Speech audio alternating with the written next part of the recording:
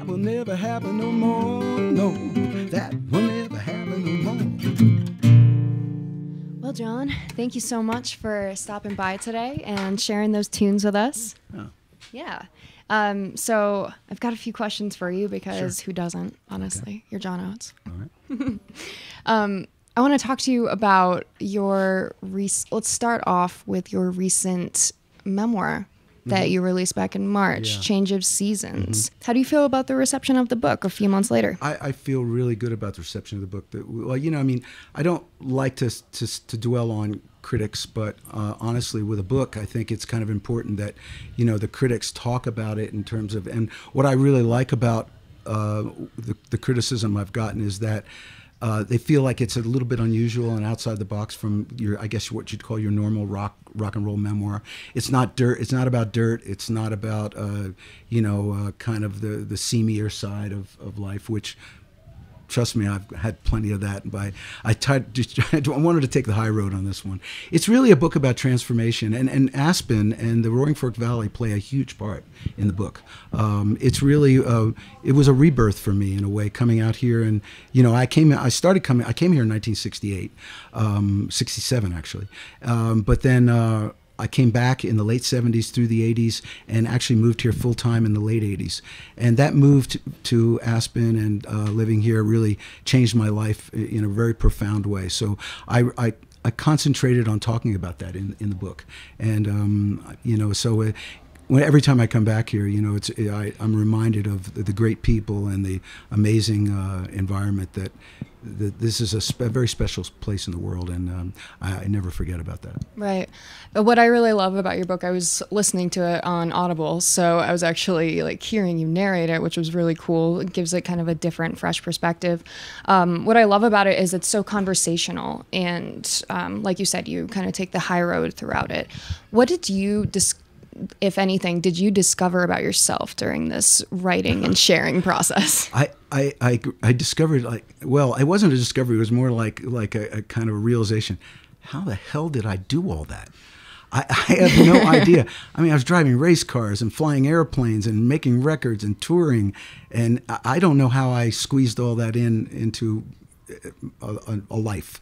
So that that was really one of the things that shocked me the most. But it was cool to go back. You know, once I started to. Um, to remember all these various anecdotes and things like that, uh, it was really, really something that um, that that opened up the floodgates of memory, and then more memories kept coming. And I had a great co-writer and a great researcher, a guy named Chris Epting, who really helped me out through the uh, publishing process. So the whole thing was an adventure. You know, I'm used to writing songs. I'm used to a little bit of instant gratification. You know, you write a song within a few minutes, you kind of have a sense of whether you've got something or not. Um, with a book, you know, it was a two-year process. So there was a lot of writing and rewriting, and of course, you know, the biggest challenge for me was how do I tell my personal story when my personal story is so integrally wrapped up in the Hall and Oates story. So um, it- interestingly enough, I was writing a lot while we were on tour, and I was with Daryl, uh, and a lot of you know, obviously a lot of things had to do with him. So I, I would let him read various uh, segments, especially the ones that had a lot to do with you know that where he was involved. Um, and uh, he's an avid reader, and he really loves books, and uh, he he really uh, gave me a lot of endorsement and a lot of encouragement along the way, saying, you know, it was really cool. I was really afraid that I'd write 400 pages and then all of a sudden have him turn around and go, you can't print that. Hey man, I don't want that in the book. So uh, rather than have that happen, I kind of, um, you know, I kind of cut the corner on that one. So it turned out really well. That's awesome. Thanks for sharing all of Yeah. that. That give, really gives a awesome insight into that process. Um, so Daryl Hall is going to be with you tonight. He's coming. He's going to be here in Aspen. I I think so. That I mean that's what I heard. Yeah. Holy cow! Well, that's good because. Because that's good because I really didn't want to have to sing "Rich Girl" because I think people would have been disappointed. Yeah, but you've played with um, bands like Train and such uh, at Jazz Aspen, and now you have your I've- partnership hey, with you. Hey, listen, Jazz Aspen, I've jammed for free for about 15 years now, so I'm really, really glad I'm getting paid this time. Very happy about that. Uh, what can folks expect tonight from Uh, you and well, Hall? y- we have an amazing band. Um, it and uh, we've been on tour, as I said, since last May. So the band's well oiled. We, you know, got a great group of guys.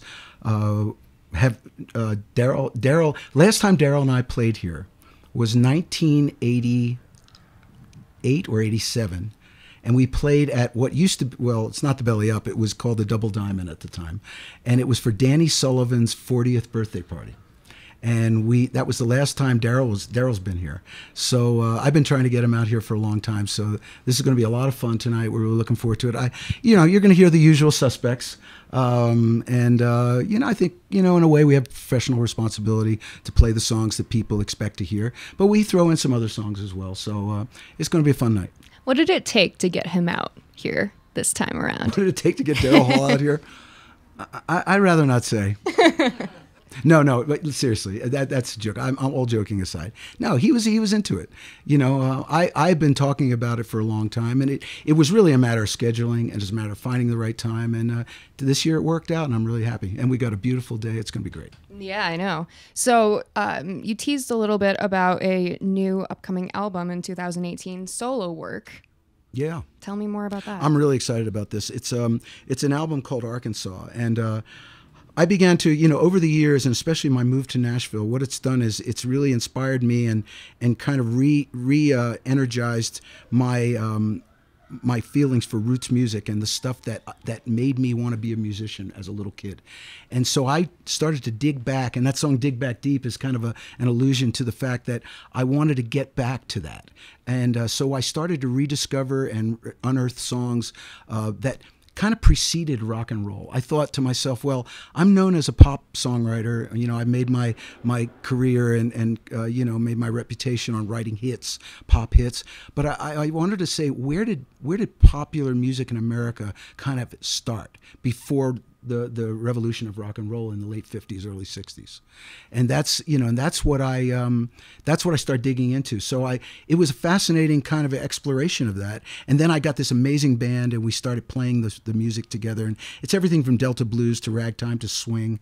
And i'm really pumped on it. Um, it's going to come out in 18 and i'll tour behind it and uh, you know that kind of thing. So it's going to be a lot of fun. That's awesome. Well we're so looking forward to that. And i'm just wondering too like you you talk about in the book how you and Daryl Hall are a partnership, but you're also two separate yeah, individual musicians. Absolutely. And you're now you're touring with Daryl again. You're kind of mm-hmm. doing that partnership, but you're also going to be doing some solo touring. Yeah. How are you going to balance that? Well, it, that's that's what makes it exciting and interesting. To tell you the truth, I I love playing with Daryl. I love playing with the Hall and Oates band because, as I said, they're an amazing band. Um, and then you know, then I have this incredible you know, luxury of going back to Nashville and getting into the Americana world, the bluegrass, the Delta blues, and the, all the other things I do. And it's a great balance. And so it enables me to keep my enthusiasm for the Hall and Oates material. And also, I always get charged when I'm doing my own stuff. So I feel like you're spending a little bit too much time in Nashville. yeah, I am. I'm spending a lot of time there. Well, you know, people say, Where do you live? And I go, Well, I actually live in a hotel. Um, but when I'm not in a hotel, I'm going to divide my time between Aspen and Nashville. Uh, Nashville's just been a lot um, easier for me to travel because of its central location. Anyone who lives in Aspen knows that it's not the exact easiest place to get in and out of in uh, February and January.